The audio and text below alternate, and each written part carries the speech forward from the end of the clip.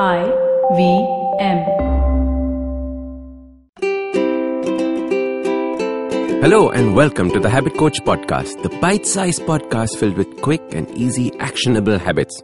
Remember, great habits create that awesome life. I am Ashdin Doctor, your habit coach. Today's fun fact of the day has to do with toothpaste. Did you know that America spent close to $1.8 billion on toothpaste in 1998? What's interesting is that last year America spent $1.4 billion on just teeth whitening products. That's how important having those perfect white teeth have become. A beautiful smile, the pearly whites.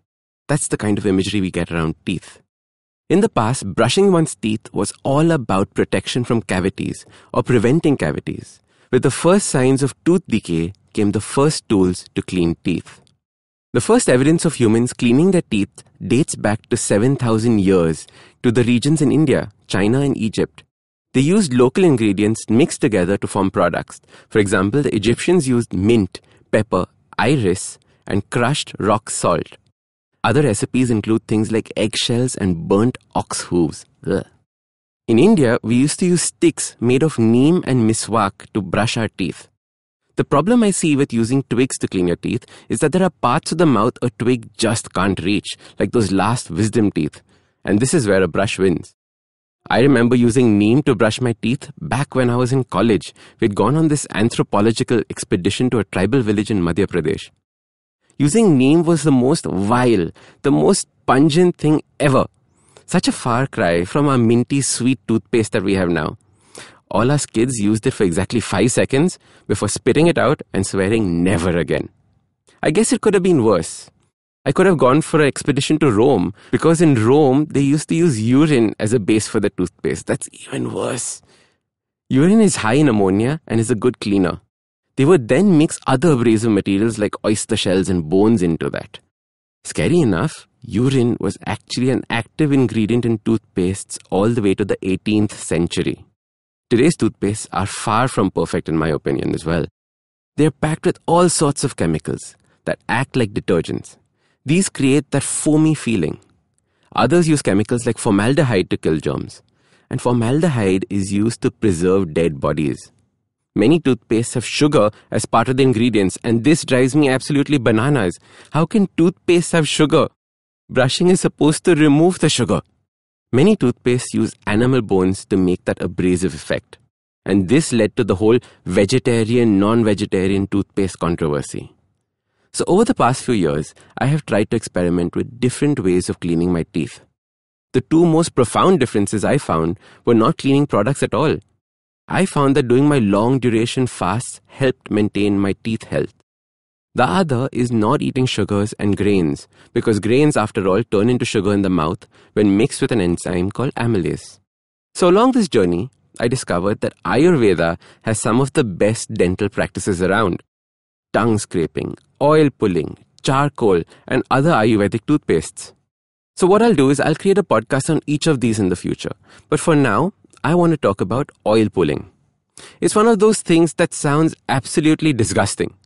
You can never imagine doing it, but it feels amazing and leaves you feeling fresh. So, the way oil pulling is done is you take some good quality coconut oil. The bad stuff has a strong smell and makes me feel really icky. Measure a tablespoon of coconut oil and put it in your mouth. Now, swish it around for about 5 minutes. Some say 20 minutes for best results, but I don't have the patience nor the muscle strength to keep swishing around oil for that long. Once it's done, spit it out into a dustbin or a bathroom drain, not the sink, because in the cold, the oil will solidify and cause a blockage. The bathroom drain has hot water running through it, or soap and shampoo, so it gets rid of the oil. The idea of oil pulling is that the oil pulls out the bacteria and emulsifies the plaque in the mouth. It's a natural mouthwash. You can add some activated charcoal to the oil and make it all fancy. Oil pulling leaves your mouth feeling fresh and clean like nothing else I have experienced. Now, I don't have the time and patience to sit around swishing oil in my mouth for five minutes, so I do my oil pulling while having a shower. Habit stacking at its best. So, your simple habit to start oil pulling is to keep a bottle of coconut oil next to the shampoo in the shower area. Before you start your bath, put the oil in your mouth. When you get tired, spit out the oil. Or spit out the oil at the end of the shower. It's that simple. I got a lot of messages on Twitter and Instagram asking me about oil pulling, so for all of those who wrote in, this one's for you. These Ayurvedic practices are absolutely brilliant.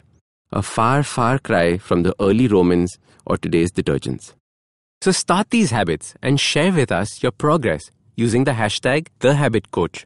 If you like this podcast, don't forget to check out other interesting podcasts on the IVM network. You can listen to us on the IVM Podcast app or ivmpodcast.com. You can also follow us on social media. We are at IVM Podcasts on Twitter and Instagram. If you want to reach out to me, I am Ashdin Doc on Twitter and Instagram.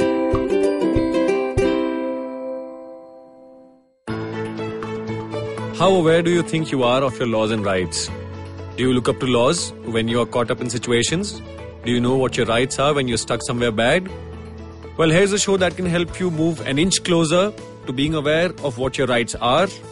Tune into Know Your Kanoon with me, Amber Rana. This is a podcast meant to answer all your law related queries. Catch Know Your Kanoon every week on the IVM website or the app or anywhere you get your podcast from.